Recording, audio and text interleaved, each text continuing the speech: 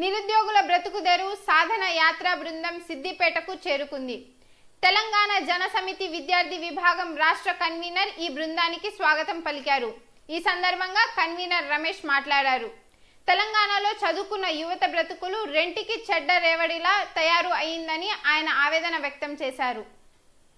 ఈ రాష్ట్ర వ్యాప్తంగా చేపట్టడం జరుగుతుంది.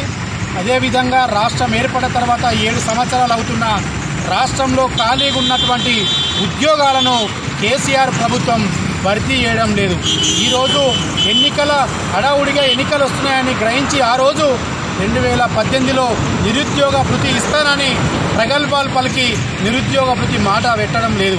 అదేవిధంగా కరోనా కాలంలో ప్రజలు కష్టాలు పడుతుండే సచివాలయాన్ని కూల్చి నిధుల నుండి దుర్వినియోగం చేసి రోజు కమిషన్ల కోసం ప్రభుత్వం పనిచేయడం జరుగుతుంది. అదేవిధంగా మీకు చిత్తశుద్ధి ఉంటే రాష్ట్రంలో ఎన్ని ఖాళీలు ఉన్నాయో శ్వేతపత్రం